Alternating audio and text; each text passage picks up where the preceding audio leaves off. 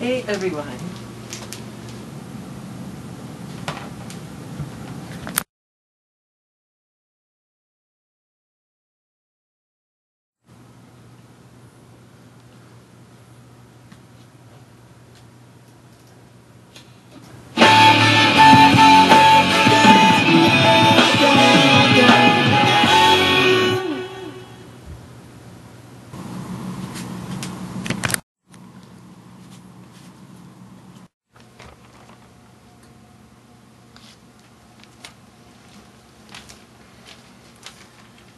Hello everyone. So the season finale of The Biggest Talent second season is over. It was quite a season and I was very happy to come back and host again.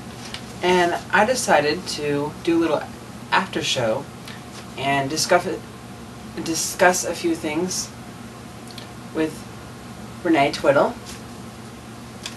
And um, and then I'll just leave you to and then that'll be it. Just a few things and that's it. So, it has been a couple weeks since we filmed the finale. There are some things I just want to point out, and I have Renee here with me too.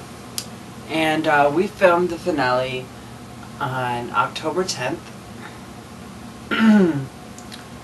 and uh, what I want to point out is during my performance with Andrew, he did not seem interested at all. He didn't even dress up, and that was very disappointing. Really? Because he was married to Olivia, and he had a child with Roxy. Well, I guess that's true. Um, so I was really excited that um, Myrtle won, and the person who made that decision is Amber. She chose Amber.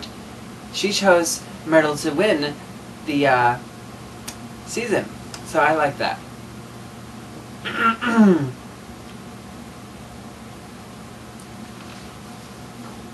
the season finale was not supposed to be three Potter, but because